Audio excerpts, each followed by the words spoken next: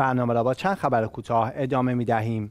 گروه طالبان در ادامه دشمنی با نمادهای تاریخی و آثار فرهنگی در افغانستان دو روز پیش تندیس امیرعلی شیرنوایی شاعر و دانشمند نامدار دوره تیموریان را در شهر مزار شریف تخریب کرد امیرعلی شیرنوایی شعرهای زیادی به زبان فارسی سروده و گفته می شود یکی از بنیانگذاران زیارتگاه منصوب به حضرت علی علیه السلام در شهر مزار شریف بوده است این چندمین باری است که گروه طالبان آثار فرهنگی و تاریخی تندیس شخصیت های قابل احترام و نامدار اقوام فارسی زبانان را در چندین ولایت افغانستان نابود کردند.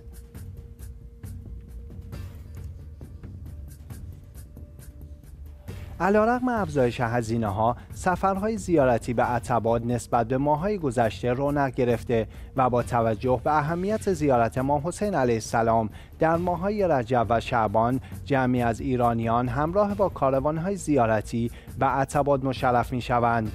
بر پایه گزارش رسانه های ایرانی تعداد ایستگاه های پروازی عتباد در آستانه نوروز افزایش یافته است به طوری که از هفته جاری زائران بیرجن در استان خراسان جنوبی می توانند از شهر خود به عراق سفر کنند.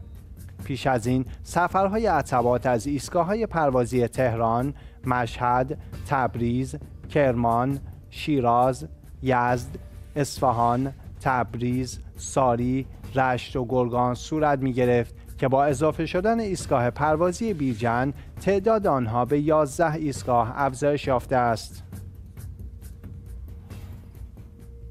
احمد زیاتگل معاون سخنگوی وزارت امور خارجه دولت موقت طالبان در افغانستان شمار جانباختگان و مصومین افغانستانی در زلزله اخیر ترکیه را 130 نفر اعلام کرد.